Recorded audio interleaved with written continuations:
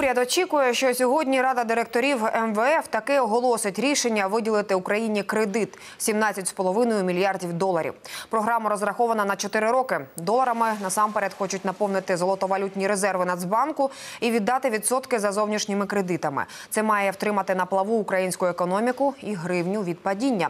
На розмір зарплати і пенсій кредит ніяк не вплине. Однак прем'єр просить людей з розумінням ставитися до реформ, який змушений був запровадити на вимогу МВФ уряд.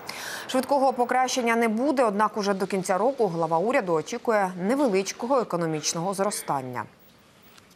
І я хочу попросити тільки одного: витримки, розуміння і єдності. Давайте думати вже не за себе, а за наших дітей і за майбутнє покоління. Іншого рецепту не існує. Якщо у когось є, нехай вийде і розкаже.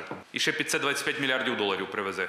Цей уряд на себе взяв цю відповідальність, і я хочу публічно подякувати. Членам українського парламенту, які також взяли на себе політичну відповідальність, президент України, який приймав надактивну участь у наших перемовинах з МВФ і допомагав досягнути компромісу.